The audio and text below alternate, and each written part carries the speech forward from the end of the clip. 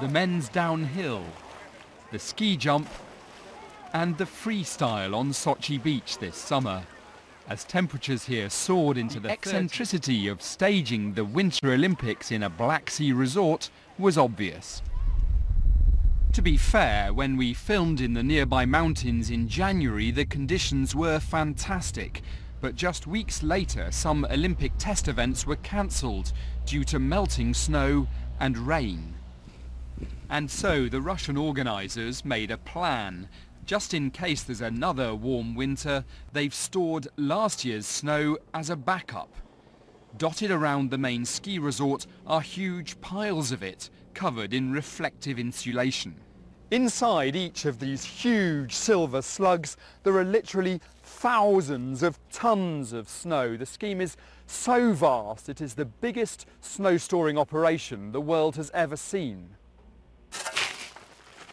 And it's working. So far, only 20% of the snow has melted. And the manager of the resort is confident he'll still have half of it by the time the games start in February. You only get the Olympics once in your life, so we have to cover all possibilities. This work is almost certainly unnecessary, but we might use this snow to build up the ski jumps or something.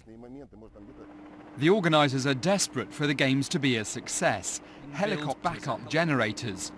And the biggest snowmaking system in Europe is already installed. But that needs sub-zero temperatures. And last February, they soared to 19 degrees Celsius. We're lucky that uh, last winter, the abnormal warm uh, winter happened. And we suffered uh, with the shortage of snow. But despite of that, we were able to organize uh, all the competition and uh, uh, we tested uh, all our technology out of our program and we expect that this winter we will be uh, facing the, the, different challenges and we will be fighting with the uh, snow, removing that rather uh, finding how to bring them from the storage. It was always a gamble, staging the Winter Olympics in a region of southern Russia with great mountains, but best known for its seaside resort.